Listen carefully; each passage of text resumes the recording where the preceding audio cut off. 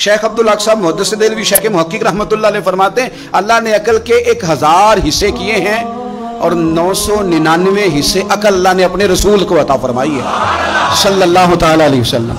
बाकी एक हिस्सा सारी दुनिया को मिली है जिससे इंजीनियर भी बने, साइंसदान भी बने, आलिम, फाजिल, शेख, मुफ्ती मुहदस मुफक्र बने, नौ सौ निन्यानवे तो अल्लाह ने रसूल पाक को अता फरमाए हैं। तो जिनके पास इतना शौर है, वहाँ से शौर लेना चाहिए, कहीं और जाना चाहिए।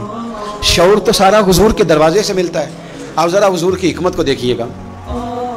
हुजूर अलैहि वसल्लम के ना ऐलान नबूवत से पहले का वाक़ है। कुरैश मक्का ने जब तामीर किया ना, खाना काबा तो वो ना थे, और मेरा कबीला आगे जाएगा, मैं आगे बढ़ूँगा। ये बड़ा मसला है याद भी कई खानदानों में हमें सबसे पहले पूछो, हमें आगे लगाओ, हमारी चौधराहट का ऐलान करो, हमें बड़ा तस्लीम वो छोटी छोटी बातों पे हत्ता के हौस पर घोड़े को पानी पिलाना है तो पहले मैंने पिलाना, इस पर भी लड़ाई हो जाती थी। तो खाना काबा की तामीर सारे मिल के कर रहे थे, अब कई कबीले थे। खाना काबा मुकम्मल हो गया तो आपको पता है, तवाफ शुरू भी हजर असवद से होता है, ख़त्म भी हजर असवद पे होता है। ये जन्नत का वो अजीम पत्थर, जिससे आगाज़ अख्ताम होता है, हर एक की ख्वाहिश थी कि ये पत्थर हम नसब करेंगे, उठा के हम लगाएँगे, ताकि क़्यामत तक ये एजाज़ हमारे हिस्से में आए।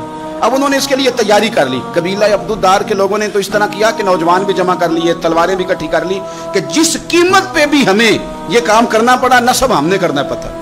एक प्याले में खून रख के उस पर हाथ डाल के उन्होंने कस्में भी उठा ली कि हम ये काम करेंगे। हर कबीला यही कह रहा था। और जब बात बड़ी बढ़ गई ना तो अबू उमैया बिन मुगीरा एक सियाना आदमी था। वो कहने लगा, यार, लड़ो ना।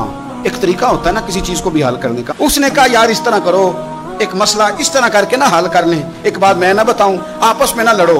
कल जो बंदा सबसे पहले हदूद हरम में दाखिल हो, वो कोई भी हो जो फैसला करें, कबूल कर लोगे कर लोगे कर लोगे कर लोगे हाँ हो गई सबकी। कुर्बान जाए। सबसे पहले हदूद हरम में मदीने वाले महबूब तशरीफ़ लाए। रसूल कायनात सल्लल्लाहु अलैहि वसल्लम।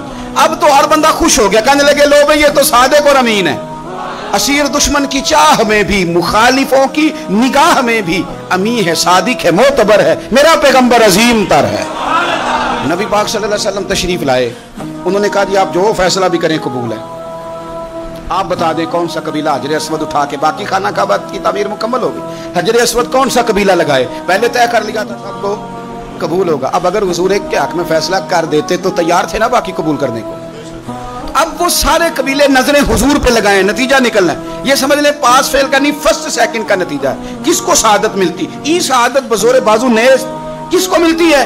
कुर्बान जाऊँ हुजूर की हिकमत पर, नबी पाक के तदब्बर पर। अब एक को भी अगर हुजूर कहते तो लगा दे तो बाकी वादा कर चुके थे, मानेंगे। पर यार, परेशानी तो होती है ना, कि हम सेकंड आ गए थर्ड आ गए। अब ये सब चाह रहे थे शहादत लेना तो रसूल पाक ने ना चादर बिछाई। हजर असवद उठा के रखा। पर मैं लड़ो ना, सारे ही एक एक कोने से चादर पकड़ लो। कुर्बान जाए, सब नहीं उठा लिया। और उठा के एन उस जगह ले आए जहाँ नसब करना था। हुजूर ने अपने दस्त मुबारक से पकड़ा, वहाँ लगा दिया। अब कोई सबसे पूछता ना, किसने लगाया है? तो सब यही समझते थे हमने ही लगाया और आखिरी फैसला यह था, हम सब नहीं लगाया है। ये हिकमत है रसूल पाक की, तेरे आगे हैं, यू दबे लचे। फुसा अरब के बड़े बड़े कोई जाने मुँह में ज़ुबान नहीं। नहीं बल्कि जिस्म में जान। है